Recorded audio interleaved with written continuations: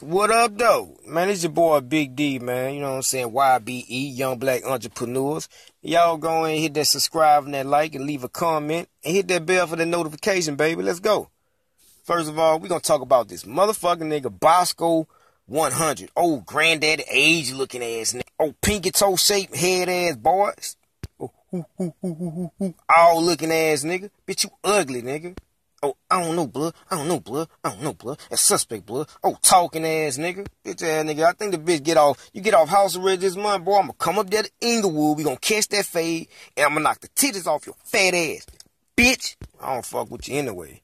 When, when I when I really do fuck over you, bitch, I'm gonna leave your ass smelling like old piece, old funk ass, boy. Like you been cremated, blood. You look fucked up, boy. Like you been cremated, cuz.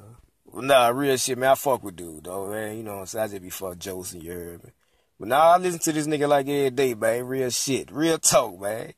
I ain't up with a little fan of this old ugly ass nigga, man. You heard me? That's it. And he, he kind of fuck with Baton Rouge niggas. I, I see that too, so. You know, now what up, man? But, man, ugly ass boy. But real shit, though, bro. 100, when I catch I'm gonna slap the shit out you.